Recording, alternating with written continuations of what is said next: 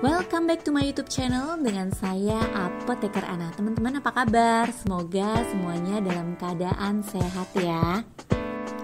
Kali ini aku mau bahas tentang salah satu obat untuk disfungsi ereksi. Nah, mungkin sebelumnya teman-teman udah pernah lihat nih video saya. Videonya yang ini ya. Aku mau bahas dulu tentang prevalensi pasien disfungsi ereksi sulit diestimasi.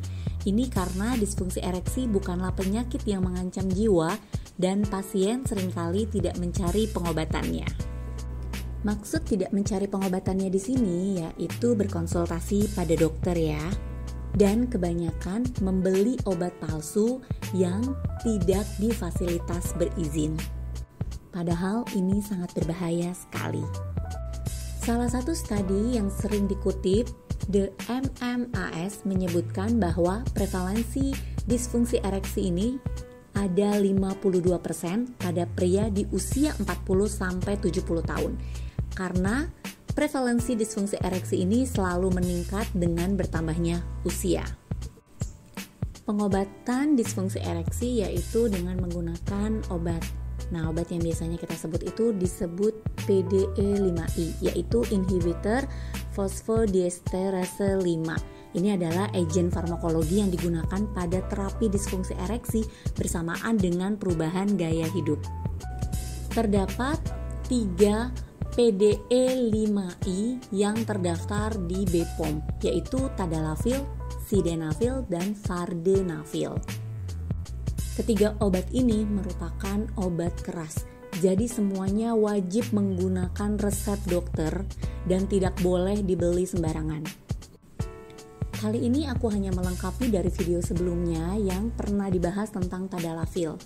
Tadalafil ini memiliki dua cara pemberian, yaitu pemberian satu kali sehari 5 mg dan pemberian atas kebutuhan, yaitu di 10 sampai 20 mg. Namun, pemberian dosis rutin ini memberikan beberapa keuntungan, seperti tidak ada onset terapi yang perlu diperhatikan dan pengalaman back to normal. Jadi, kayak bener-bener balik ke semula ya. Pada tadalafil yang 5 mg, karena diberikannya ini setiap hari, jadi udah nggak ada lagi nih perencanaan. Kemudian Obat ini juga bisa meningkatkan frekuensi ereksi di pagi hari serta mengembalikan spontanitas.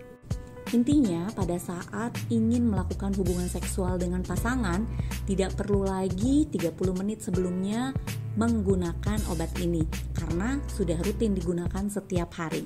Untuk tadalafil 10 dan 20 mg, efektivitasnya hingga 36 jam. Dan dengan menggunakan obat ini, kepercayaan dirinya pasti lebih meningkat lagi, serta kepuasan dengan kekerasan ereksi yang maksimal. Obat tadalafil ini memiliki interaksi dengan obat lain, yang paling fatal jika dikonsumsi bersama dengan nitrat, karena bisa meningkatkan resiko terjadinya hipotensi berat. Dan jika kalian memang mengalami hipertensi yang diberikan obat amlodipin mungkin harus berkonsultasi juga kepada dokter karena obat ini juga bisa meningkatkan efek penurunan tekanan darah. Untuk efek samping dari obat ini sebelumnya pernah aku bahas sih, tapi aku bahas lagi ya. Jadi bisa menyebabkan sakit kepala, nyeri otot, hidung tersumbat, nyeri ulu hati, diare, mual, dan sensasi rasa panas tidak semua orang mengalami efek samping dan setiap orang pasti berbeda-beda. Alangkah lebih baiknya tetap berkonsultasi dulu kepada dokter.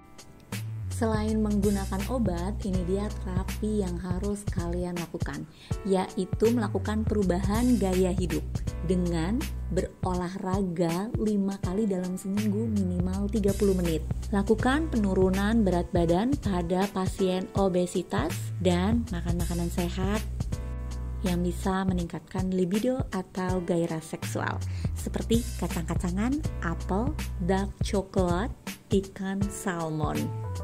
Demikian informasi aku tentang obat tadalafil. Jika kalian ada pertanyaan, tulis di kolom komentar. See you di next video. Bye-bye!